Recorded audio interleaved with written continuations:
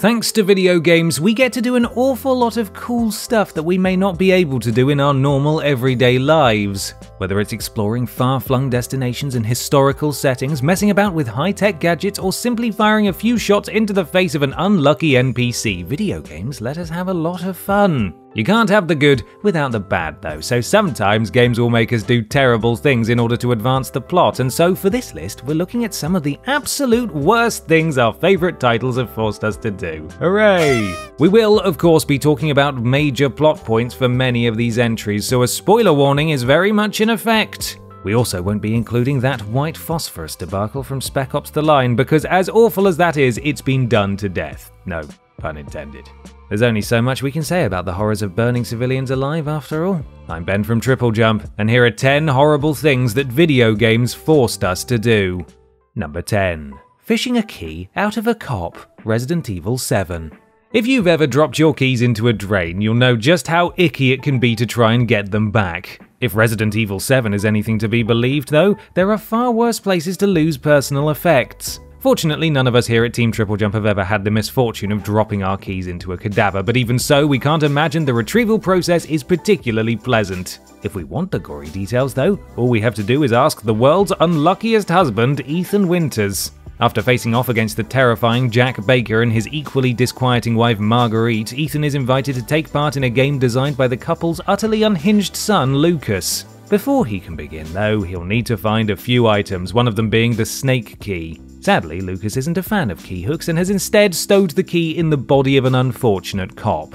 Players will remember him as the officer that met a sticky end thanks to Jack and a well timed shovel. Admittedly, sticking your arm into the throat of a corpse isn't the most physically taxing thing in the world, but it is absolutely disgusting. Number 9. Covering up the identity of a serial killer, LA Noire. There are a number of things that happen throughout LA Noire that put players in a moral quandary, but none leaves a sour taste in the mouth quite like the conclusion of the homicide cases. Following a short but successful stint in traffic, shouty Cole Phelps is promoted to the homicide desk where he's put to work solving a series of murders. Though each has its own suspects, who in turn have their own motives and nothing even approaching an alibi, when the MO remains the same for each case, it soon becomes apparent that the murders are the work of a serial killer. After arresting and charging a string of innocent men, Cole and his partner Rusty finally get to find out who's behind the grisly killings. They track down Garrett Mason and are able to shoot the evil git before he can get away. It turns out, though, that the man behind the murders was the half brother of a prominent politician, and Cole and Rusty are forced to keep quiet about the whole thing. Cole is given a nice, shiny promotion in exchange for keeping his mouth shut, but that doesn't make the whole thing feel any less wrong. Number 8. Killing Sif Dark Souls. People hate it when animals get the chop in films, TV, and video games. We were all distraught at the end of Turner and Hooch. We shed a tear when Neville's dog Sam got infected in I Am Legend, and there wasn't a dry eye in the house at the ending of Marley and Me. Hell, there's even a website called DoesTheDogDie.com that helps people to avoid media where doggos meet an untimely end. It's for these reasons that people were hugely upset when Dark Souls forced them to fight and kill Sif. Located deep within the Darkroot Garden, Sif was once the partner of Artorias the Abyss Walker, who ended up being swallowed by the Abyss. When players find Sif, the Big Puppa is guarding his master's grave and ring, the latter of which is needed in order to enter the Abyss. As much as we would have liked the game to offer us the opportunity to get the ring by other means, I still maintain that a nice, juicy steak and some scritches behind the ears would have sorted the problem right out. Players are forced to fight Sif to the death. Regardless of whether or not it's necessary, though, most of us still felt quite terrible afterwards. He was just protecting his master. He's a good boy. Number 7. Torturing Kerimov, Grand Theft Auto 5.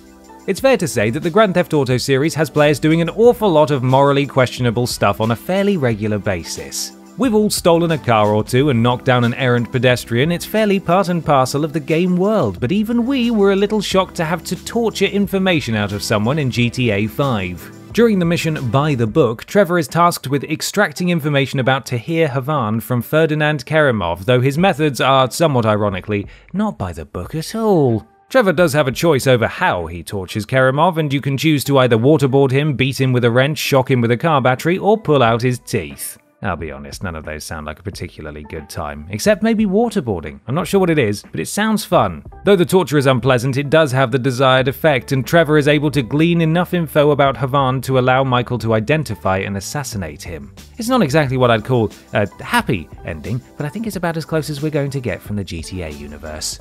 Number 6. Saving Ellie and Dooming Humanity The Last of Us.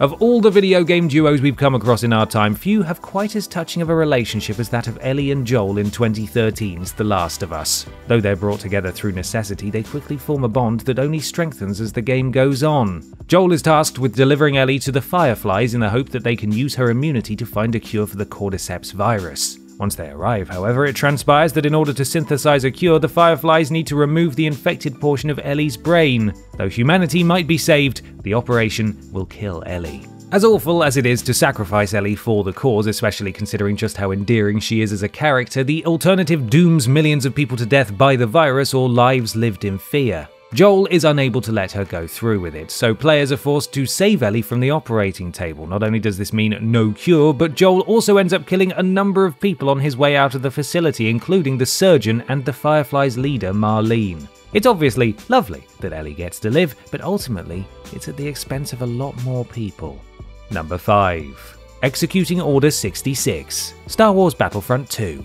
If you're not a fan of The Star Wars, then you might not be aware of Order 66. It made its first appearance in Star Wars Episode 3 Revenge of the Sith, where the words Execute Order 66 are uttered by Emperor Palpatine, resulting in the deaths of most of the Jedi at the hands of the clone troopers. If you're rooting for the light side, it's considered to be an all round bad time. In 2005's Star Wars Battlefront 2, players get to experience Order 66 as a clone trooper tasked with wiping out the Jedi that are alleged to be the enemies of the Empire. The mission is made up of a number of objectives, ranging from capturing the Jedi Council chamber and protecting the library long enough for Command to scan its contents, to just straight up assassinating Jedi Masters, and all of it feels very wrong. Technically, yes, the Jedi are enemies of the Empire, but considering that the Empire is effectively a dictatorship that is threatening to take away the galaxy's freedom, they oppose it for a good reason. I just hope all of you Star Wars Battlefront 2 players can sleep at night knowing that you are fighting on the side of Space Hitler.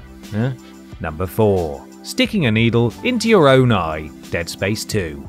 We've all heard the expression, I'd rather stick pins in my eyes, but when it comes down to it, there are very few scenarios where actually jabbing long pointy things into our eyeballs would be the preferable option. I think I speak for most of us when I say that if I had the choice between having a machine stab me in the eye or knowing less about an evil space monster, I'd probably go with the latter. I'm sure all of the important information is on Wikipedia anyway.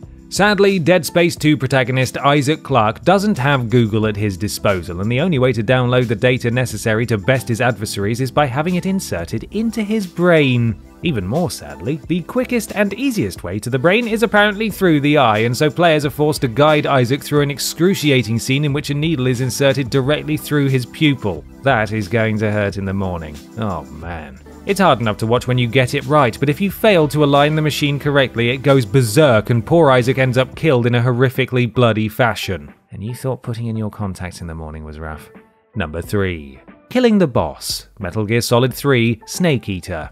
You've got to feel sorry for the boss, as oh boy is she dealt a rubbish hand in Metal Gear Solid 3 Snake Eater. First, she's tasked with infiltrating Volgin's ranks so that the legacy can be brought to America and is made to look like a traitor in the process, and then she has to die for the cause as well. Talk about a rough day. Admittedly, when he arrives at the scene of the, uh, boss fight, Snake is still under the impression that the boss has defected, and so despite the pair's lengthy history, we can fully understand why he's willing to engage her in a duel. It's not long before he finds out her true intentions, though, that she was actually on the side of the US all along, and that she's effectively sacrificed herself in order to prevent all out nuclear war. Her death stings for a number of reasons. First of all, the boss is a complete badass and a brilliant character that taught Snake everything he knows, and secondly, she effectively saved the world from nuclear devastation but will only ever be remembered as a traitor. Do you reckon we can get hashtag justice for the boss trending on Twitter?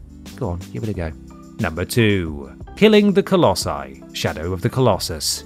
Shadow of the Colossus stands out on this list as it is one of the few occasions in gaming where you're forced to do an awful thing, but it isn't until long after the fact that you realise that you're doing an awful thing. The game follows a young man named Wander as he journeys across the realm in order to try and save a girl named Mono. He is led to believe that the only way to do this is to destroy the Colossi, 16 huge beings located throughout the land. The problem is that the Colossi are not the aggressors that players had been led to believe and were, in fact, simply protecting portions of antagonist Dormin's essence. Rather than helping anyone, killing a Colossus means that a bit of Dormin's spirit enters Wander's body and piece by piece the big bad is restored to full power. Admittedly, both Wander and the player are misled by Dormin, but that really doesn't make all that much of a difference. After all, you've still wandered the landscape, no pun intended, executing innocent creatures with reckless abandon and have brought about the rebirth of a really, really evil dude. We're not mad at you, we're just incredibly disappointed.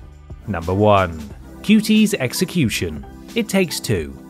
It Takes Two is a game that looks incredibly cute, what with its colourful graphics and its doll protagonists, but anyone who has played it will tell you that it frequently hits players right in the feels. Whilst trying to find a way to return to their bodies, May and Cody make the assumption that because Rose's tears turned them into dolls in the first place, it's her tears that will turn them back. That's right, folks, it's time to make that child cry. The duo ventures through Rose's many toys in order to find her favourite, an elephant named Cutie. After fighting through a number of hostile toys, one might assume that Cutie will be the big boss at the end and it'll be a fight to the death. But nope, Cutie is a complete sweetheart that offers Cody and May cookies and hugs. That is, of course, until she realizes that they're there to kill her, at which point she begins running away and begging for her life. Players are forced to grab hold of Cutie and drag her, literally kicking and screaming, to her death, all while she pleads with them to leave her alone and reminds them that she's Rose's best friend. The whole sequence is harrowing, and if you're anything like me, you'll never want to go back to it ever again.